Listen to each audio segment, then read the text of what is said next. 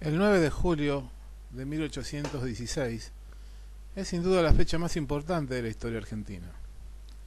Ese día, en la lejana ciudad de San Miguel de Tucumán, 29 diputados representantes de las provincias declararon y juraron nuestra independencia. La misma se realizó en esa casa que están viendo, una casa pintada con cal blanca cuyas paredes y ventanas habían sido pintadas con azul prusiano. Su dueña se llamaba Francisca Bazán de Laguna. Y era la casa más amplia que había en San Miguel de Tucumán, que era una ciudad que apenas tenía 4.500 habitantes. Incluso tuvieron que romper una de, los, de las paredes para permitir construir una galería de 5 metros por donde van a sesionar los congresales. La declaración de la independencia fue un proceso que surge para algunos en las invasiones inglesas y para otros en la denominada Revolución de Mayo, cuando los criollos tomaron conciencia de su fortaleza y se vieron en condiciones de poder resistir al imperio británico o a cualquier otra nación del mundo.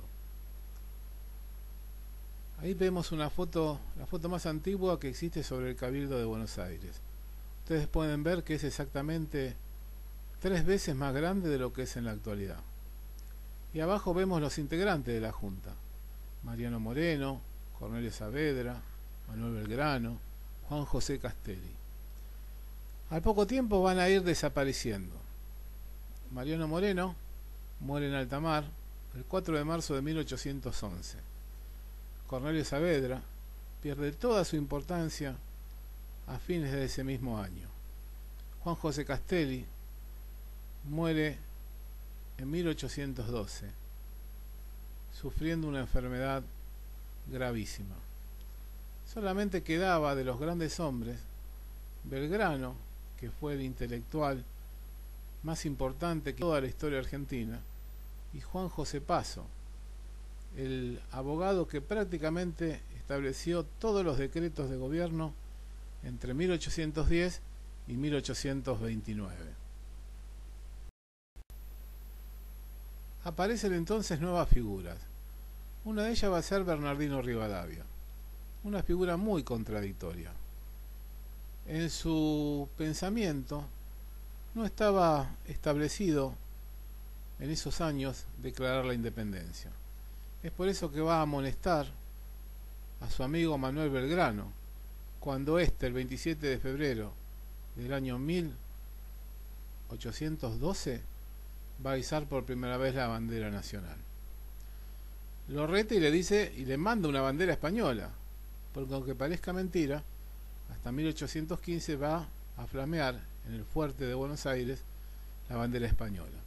Sin embargo, llega a Buenos Aires José de San Martín, Carlos de Alvear, Matías Zapiola, Martiniano Chilaver, quienes van a crear la Logia Lautaro, cuyos objetivos eran libertad e independencia. La figura más importante va a ser la de José de San Martín, que era teniente coronel de infantería y que va a crear un cuerpo de caballería, un cuerpo de élite, un cuerpo muy preparado, que fue los granaderos a caballo. José de San Martín es el verdadero creador del Ejército Nacional, el táctico y estratega más importante de toda la historia argentina. Y alrededor de 1814 se van a encontrar tres de las grandes figuras o las tres figuras principales de este periodo y quizás de la historia. En la posta de los Algarrobos en Salta se van a encontrar San Martín con Manuel Belgrano con un tercer gran prócer, Martín Miguel de Güemes, un centauro, un gran jinete, fue el único general argentino que muere en combate. El ideario de los tres es la libertad y la emancipación de América. Sin embargo, no eran los únicos que hablaban de libertad y emancipación. El oriental José Gervasio Artigas había creado la Liga de los Pueblos Libres, con la provincia de la Banda Oriental, hoy día la República del Uruguay, Corrientes, Entre Ríos, Las Misiones, Santa Fe y Córdoba. Artigas había jurado la libertad y la independencia en un congreso reunido en la ciudad actual de Concepción del Uruguay en el año 1815. Es el origen del federalismo argentino, nacionalista, patriota, emancipador. Alrededor de 1816 la situación era muy compleja. Los realistas, partidarios del rey, se imponían en las provincias del Alto Perú y en Chile. Y los portugueses van a invadir la provincia de la Banda Oriental, Entre Ríos y Corrientes.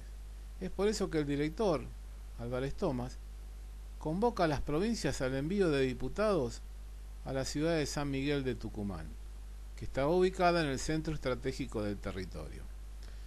La ciudad de San Miguel de Tucumán tenía cerca de 4.500 habitantes en ese 1816, alrededor de 80 cuadras, y era un lugar estratégico. Van a comenzar a llegar los diputados en carretas, que era el método más, el medio más económico. Ustedes pueden ver las ruedas que tenían entre 2 metros y medio y 3 metros de diámetro y tenían ese tamaño justamente porque no existían caminos pavimentados ni caminos de piedra y al producirse las lluvias se convertían en verdaderos lodazales. Otros van a viajar en galera, que era eh, un medio de transporte un poco más sofisticado, y otros lo harán al hombro o, o al lomo de su caballo. La cuestión es que alrededor de marzo de 1816 los diputados ya se estaban reuniendo en esta ciudad de San Miguel de Tucumán. El gobernador Arauz pretendió recibir a los diputados en el cabildo de San Miguel de Tucumán, pero estaba muy deteriorado. Es por eso que lograron que la señora Francisca Bazán de Laguna preste su vivienda, que era la más amplia de toda la ciudad de San Miguel de Tucumán. El gobernador va a aportar muebles, los sacerdotes van a aportar muebles, y se trató de alojar a los diputados en casas particulares Fíjense hasta qué punto era la estructura en ese, en ese entonces. Y acá tenemos una perlita histórica.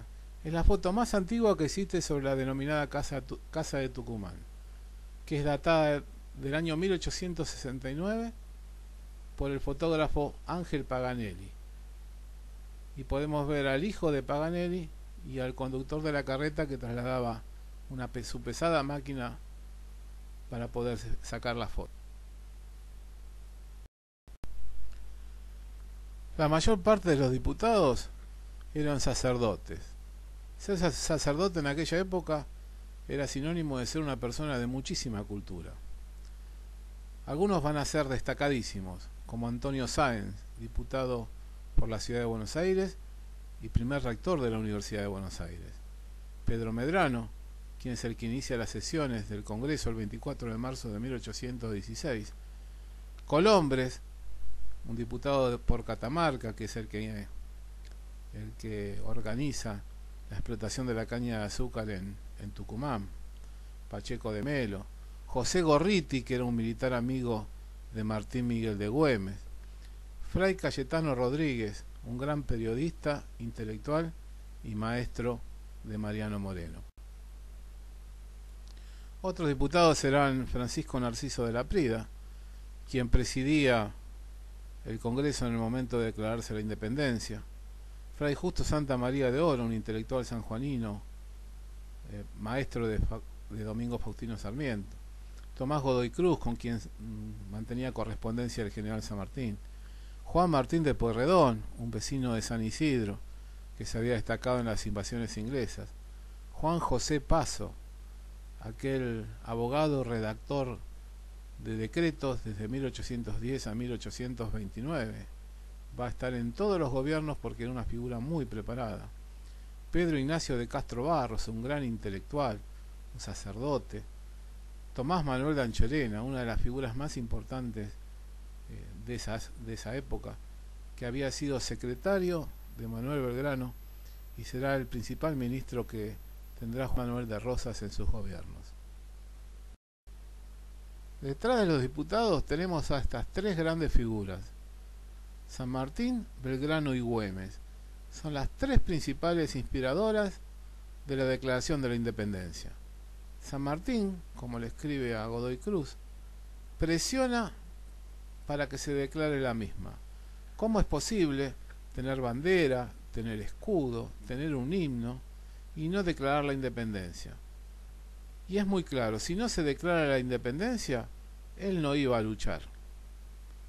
Manuel Belgrano, el intelectual más importante de nuestra historia, les va a hablar al Congreso exponiendo la situación política mundial y les va a proponer coronar como monarca constitucional de estos territorios a un descendiente de los incas, a Juan Bautista Tupac Amaru, que se encontraba prisionero en las cárceles españolas.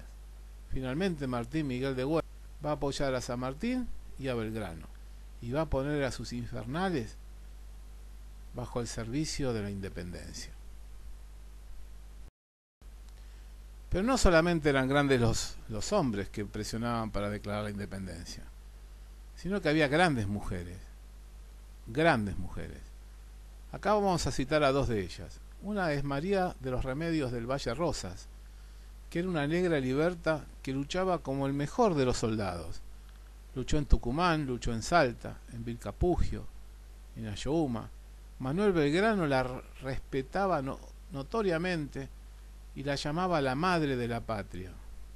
Recibió siete heridas cuasi mortales y fue torturada y azotada por los realistas.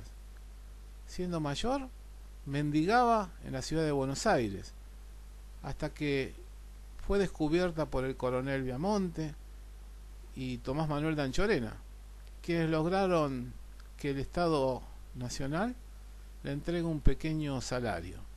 Con ese salario apenas sobrevivía. Y al asumir Juan Manuel de Rosas, una de las cosas que va a adoptar es reconocerle su grado de sargento mayor, con lo cual su situación mejoró notoriamente. Y es por eso que en agradecimiento María Remedios va a tomar el apellido Rosas y va a morir en 1847 con el reconocimiento de todos los argentinos, a la madre de la patria como se la conocía. Y la otra gran figura es Juana Zurduy. Juana Zurduy es una heroína de dos países, de Bolivia y de la Argentina. Juana Zurduy luchó con el general Martín Miguel de Güemes. Luchó en el Alto Perú, en la zona de la laguna. Vio morir a su marido y vio morir a sus cinco hijos. Y jamás rechazó la causa de la independencia, todo lo contrario. Murió en 1862 en la miseria. Dos grandes mujeres de nuestra patria que merecen ser siempre recordadas. El 9 de julio de 1816, en una sesión presidida por Francisco de la Prida, los diputados van a declarar y a jurar la independencia. Aquí podemos observar el interior de lo que era esa galería donde los 29 diputados juraron la independencia y el acta o copia del acta. Y fíjense que se habla de las provincias unidas de Sudamérica, porque se pensaba que de realizarse el proyecto de Belgrano, la capital estaría en el Cusco, en el actual Perú. Aquí vemos en la copia del acta la firma de los diputados. El 19 de julio, es decir, 10 días después de la declaración de la independencia, a instancia de Pedro Medrano y entre la invasión portuguesa de la banda oriental y de las provincias del litoral, se le va a incorporar una frase en las cuales eh, se declarará la independencia de toda otra dominación extranjera. a los efectos de evitar suspicacias. Esto fue en 1816. Van a pasar 19 años hasta que un gobierno establezca reconocer la fiesta nacional del 9 de julio. Y esto lo va a hacer el gobierno de Juan Manuel de Rosas por un decreto promulgado el 11 de junio de 1835. Desde ahí en adelante es que recordamos el día principal de nuestra nacionalidad. hemos realizado una pequeña síntesis de aquellos acontecimientos que originaron a la inmortal declaración de la independencia ese 9 de julio de 1816. Eh, la historia creo que nos deja una enseñanza. Para los griegos la historia era maestra de vida. Les permitía no solamente conocer su pasado, sino comprender el presente, tener pautas con respecto a su futuro. Y la historia tenía que servir para enseñar, tenía que servir para educar, tenía que servir para que esos errores no se vuelvan a cometer. Por eso en este 9 de julio del año 2020, particularmente creo que el mejor homenaje que podemos hacer a todos esos grandes héroes y heroínas, al general San Martín, a Güemes, a Artigas, a Belgrano, a la madre de la patria, a Juana Zurduy y a tantos otros, es el de crecer como argentinos. Tratar de hacer lo mejor que podemos desde nuestro lugar de combate, desde nuestro lugar de batalla. Tratar de ser mejores, tratar de ser buenos, honrados, tratar de aquellos jóvenes que están escuchando esto, tratar de estudiar, tratar de ser honestos. Ese es el mejor homenaje que podemos hacer a todos esos grandes hombres y mujeres que nos dieron la patria. Nada más.